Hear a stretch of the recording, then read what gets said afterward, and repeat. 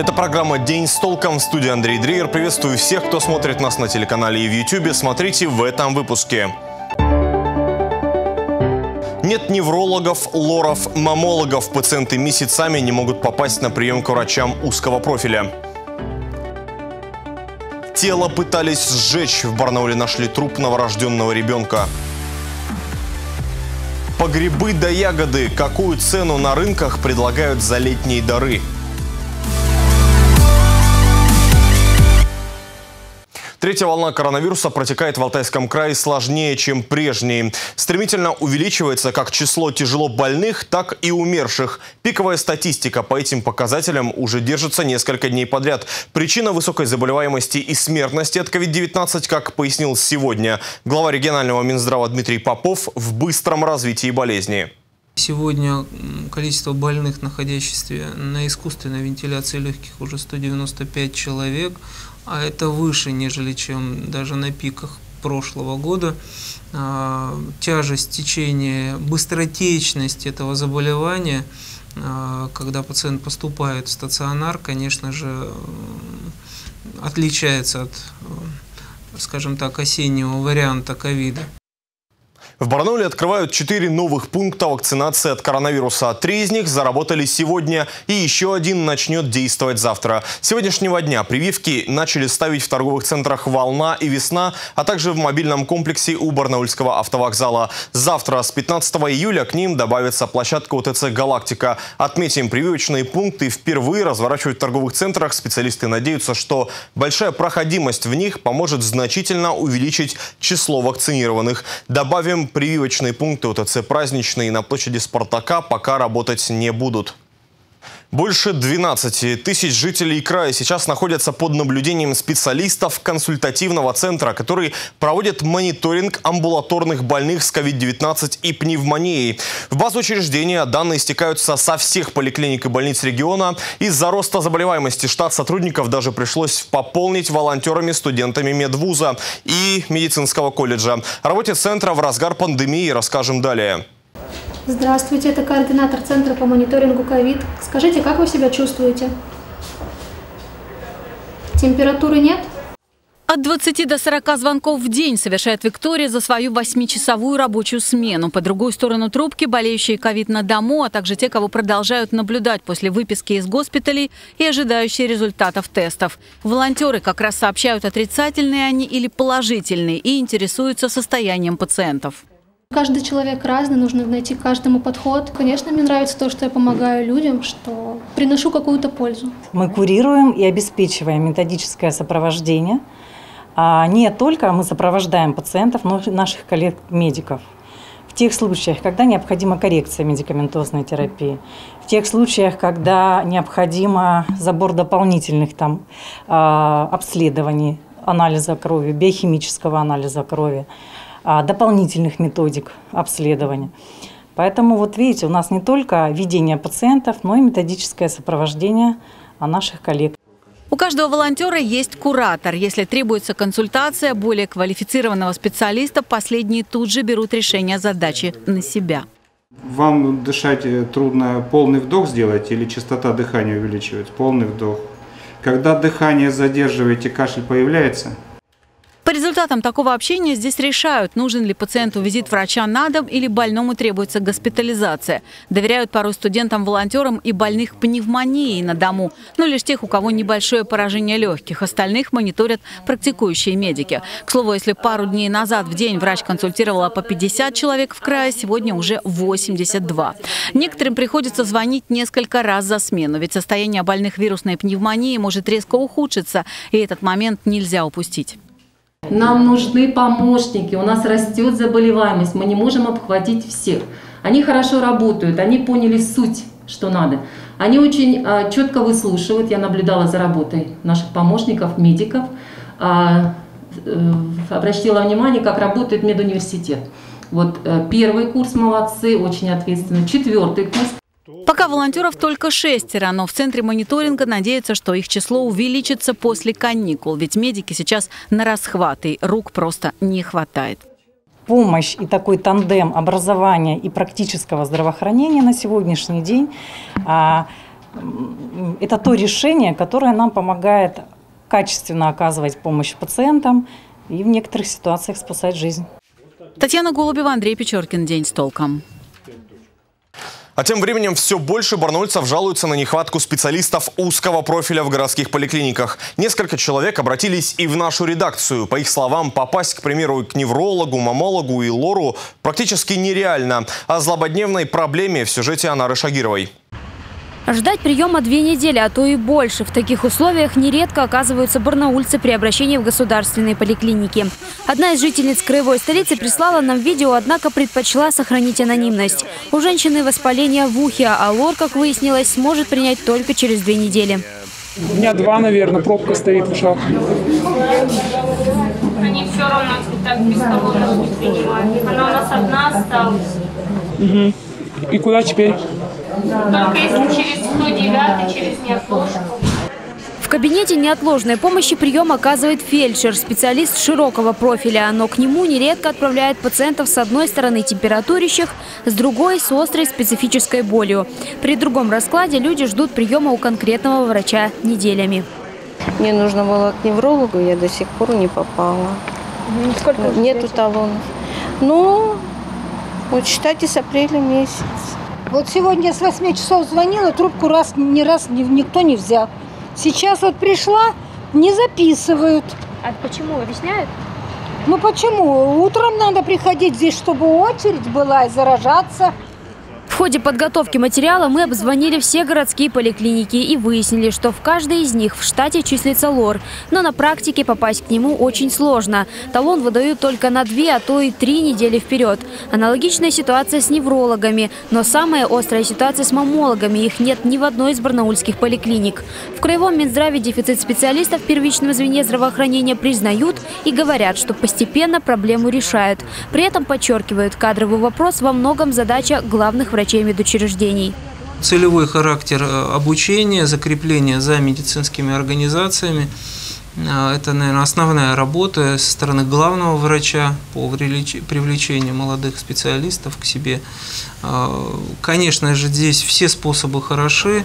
Получается, выход только один – частные центры. К примеру, платно мамологи принимают в 17 учреждениях. Востребованные узкие специалисты в принципе стараются уйти работать в частные клиники. И платят больше, и нагрузка меньше. Так, недавно в Барнауле открылся даже лор-центр, который и объединил крайне востребованных специалистов. Но там за каждый прием придется заплатить. В среднем один визит в коммерческих центрах обойдется в тысячу рублей. Анара Шагирова, Данил Захаров. День с толком. К другим темам. В райцентре Благовещенского района к отопительному сезону запустят новую котельную. Об этом во время интернет-форума сообщил министр строительства и жилищно-коммунального хозяйства края Иван Гилев. Он пояснил также, что администрация Благовещенского района заключила муниципальный контракт стоимостью 13 миллионов рублей на установку модульной котельной, которая будет отапливать жилые и административные здания. А в Змеиногорске на одном из объектов теплоэнергетики сейчас заканчивают ремонтные работы. Скоро его хотят ввести в эксплуатацию. При этом в целом по отрасли ситуация далеко не оптимистичная. Так, по итогам 2020-го убытки составили 580 миллионов рублей. Рентабельность всего на уровне 12%. Основная причина издержек – перерасход топлива. За 6 месяцев этого года в Алтайском крае собрали налогов на 80 миллиардов рублей. Из этой суммы в бюджеты разных уровней поступило более 50 миллиардов. Об этом накануне Виктору Томенко отчитался руководитель налоговой службы по региону. Мы идем больше, чем 20% к прошлому году.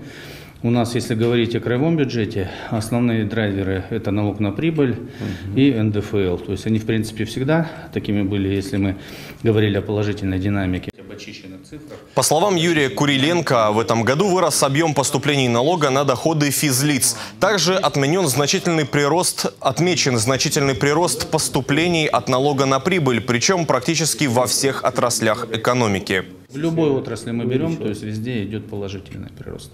Так, для целей налогообложения, по крайней мере. Да, ну и здесь как бы как индикатор можно же отслеживать, соответственно, и э, непосредственно самочувствие экономики. Теперь шокирующая новость. В Барнауле нашли труп новорожденного ребенка. Что еще страшнее, тело младенца кто-то пытался сжечь. Эта информация появилась сегодня в соцсетях. Сообщается, что останки нашел мужчина, который гулял с собакой по улице Советской Армии. Примечательно, что сжечь ребенка пытались за детским садом. По данным канала РЕН-ТВ, полицейские уже задержали 29-летнюю жительницу Барнаула. Как утверждает горе-мать, дома у нее случился выкидыш. Испугавшись, женщина положила ребенка в сумку, вышла на улицу и подожгла. Вероятно, на днях мы узнаем подробности этой ужасной истории. И далее. Некурящим людям могут на 10 дней увеличить отпуск. С такой инициативой выступил член Общественной палаты России Султан Хамзаев. По словам автора идеи, пагубная привычка отнимает у сотрудников до часа рабочего времени в день. И таким образом за год на курение уходит около 20 рабочих дней. Как в подобной инициативе отнеслись барнаульцы, узнаем далее. Некурящим правильно. Это правильно? Почему? Да. Ну, потому что курящие много времени затрачивают рабочим. Хорошая идея. Сам не курю, никогда в жизни не курил. Ну, мотивирует, наверное, чтобы люди здоровый образ жизни вели. Да что, почему-то? Считаете это неверно? Положительно. Почему? Потому что система поощрения всегда работает. Но вы сами курите? Я бросил где-то примерно... Я курил 20 лет, бросил, короче, э, полтора месяца назад. Чувствую себя прекрасно. Сейчас собираюсь на футбол. Я затрудняюсь сказать. Вокруг меня курящих нет, поэтому я даже не задумывалась. Честно говоря, не буду путать карты вам, не знаю. Но это не может так э, для людей мотивации быть, что человек не курит, значит будет дольше отдыхать в отпуске. Ну, знаете, мотивации могут быть разные. Для кого-то это может послужить, а кто-то совершенно даже не обратит на это внимания. Просто тем, кто не курит, будет действительно хорошо, и все. В России, в том числе и в Алтайском крае, начали бороться с автомобильными шинами. Дело в том, что законодатели отнесли покрышку к четвертому классу опасности из-за ядовитости. И теперь барнаульцам навсегда придется попрощаться с лебедями и резиновыми клумбами. Подробности у Валентины Аскеровой. Наркоманы здесь вот, так сказать, это самое, закладывают под них. Здесь э, средь бела дня, значит, это самая бабушка, значит, закладку делала. Клумбы из покрышек уже давно облюбовали закладчики. Управдом Евгений Евтюшкин был свидетелем того, как закладчики прятали одурманивающие вещества в самодельных цветниках. Поэтому запрет на такие арт-объекты мужчина одобряет. Хотя и в этой истории, признает он, есть свои нюансы. Порой такие клумбы несут практическую пользу. Особенность наших это, дворов, что по ширине, значит, две вот это самое машины, вот это самое, не разъедутся. Нужно всегда вот это самое одному, значит, это самое, куда-то колесами зайти. Проезда такого, так сказать, это самое, незаконного. Они вот как раз и и вот это самое является вот это самой защитой. Там у нас здесь а, начала организовываться хаотичная парковка автомобилей. И изначально, опять же, наши жители, чтобы сохранить газон, начали вкапывать покрышки. И э, была предложена альтернатива установки конусов. Ну, в любом случае, это также эстетичнее, чем те же покрышки, которые имеют свой износ.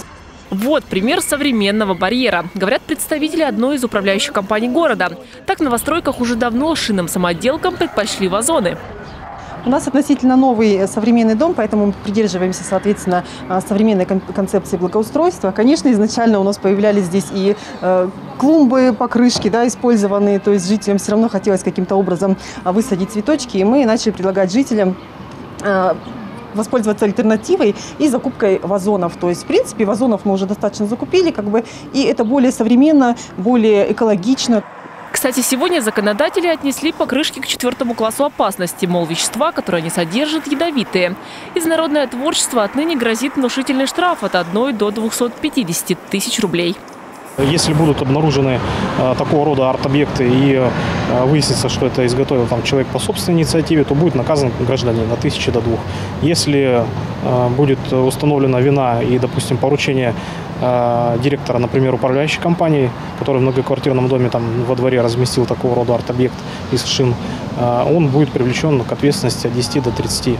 Ну а уж если это будет привлекаться управляющая компания, то там еще более серьезная ответственность от 100 до 250 тысяч.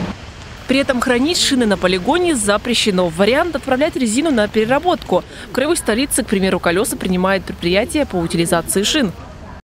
Происходит сортировка, далее происходит дробление, резко дробление этих э, шин. И затем, затем получается крошка. В итоге получаем крошку разного диаметра, которая затем используется в изготовлении тротуарных покрытий. Резиновые коврики, плитка. Так что у старых шин, по сути, одна судьба – перерождение. Если захочется как-то реализовать свой творческий потенциал, то придется обойтись без ядовитых веществ. Вот, например, во дворе дома на Партизанской построили целый деревянный мини-городок. Интересно и экологично, в отличие от соседней скульптуры – умирающего резинового лебедя. Валентина Аскерова, Андрей Печоркин. День с толком. Середина июля – ягодная пора. Виктория еще не отошла, но уже поспели малина, смородина и крыжовник. Специалисты и садоводы говорят, ягода уродилась и лесная в том числе. Так почем нынче витамины и за сколько на рынках можно купить первые белые грибы, узнавали наши корреспонденты. А много ягод нынче? Много ягод нынче много. А как считаете, почему? Ну, наверное, погода хорошая, жарко, ягода же тепло любит. А кто-то считает, что обилие ягоды нынче как раз вопреки жаре, но выбор у горожан большой. В лесах сейчас много клубники. Эта женщина собирала ее сама в районе села Зудилова. Продает недорого. Небольшой пластиковый стаканчик 100 рублей, ведерко 200. Низкая пенсия вынуждает торговать. Порой на жаре приходится находиться часами, чтобы подзаработать на дарах природы. На рынке социальные ряды битком. И ягода здесь на любой вкус. И лесная, и огородная. У меня смородина дома, красная, черная, это все, и жимолость есть. Просто она у меня еще не поспела, малина только поспевает. Большой пластиковый стаканчик лесной земляники обойдется в 250 рублей. Красную смородину можно купить за 80, крыжовник стоит 100 рублей. Малина, как нам сказали, только пошла, поэтому за трехлитровое ведерко просят 700, а вот 3 литра лесной клубники дешевле от 500 до 600 рублей. Конечно, дорого о этом говорить. Ну, нынче плохо народ берет. А почему? Денег нет у людей. Потому что сейчас к школе детей готовят. И все же горожане активно интересуются, причем и грибами. Пока на рыночках и рынках исключительно белые. Цена за килограмм царя грибов составляет от 400 до 450 рублей. Люди говорят, дороговато. Ну, Насколько да. грибы подорожали? Ну, раньше они были ну, по 200-250 в том году я брал, а сейчас видите, да сколько дороже. Потом, когда наши пойдут уже местные здесь, озерки, там, ларичиха, тогда они будут дешевле. Цена всегда дороже идет. Потом уже снижается. Первый... Когда у нас вот цена на грибы должна снизиться? Ну, в конце июля, я думаю, снизится. В общем, погода нынче благоволит. Ягод и грибов предостаточно. Цена на ягоды с прошлого года практически не изменилась. Грибы пока не каждому по карману. Но выбрасывать продавцам ничего не приходится. Говорят, к вечеру полки пусты. Кстати, в это время 100 рублей с ведерка покупателям точно скинут. Татьяна Голубева, Андрей Печоркин. День с толком. А на этом у меня все. Спасибо всем, кто нас смотрит не только по телевизору, но и в социальных сетях и на YouTube. Для вас работает телефон нашей редакции 205 545. Подписывайтесь на нас, ставьте лайки, участвуйте в обсуждениях. А через несколько секунд о погоде спонсор прогноза – компания «Эвалар». До встречи!